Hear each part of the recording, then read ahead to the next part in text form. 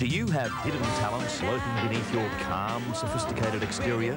Would you like to participate in the craziest, funniest new show on Australian television? If the answer is yes, why not audition for the Have a Go Show, starring that unpredictable twosome Jono and Dano? All you have to do is phone us here at Channel 7 today between 9am and 5pm on 267 0777.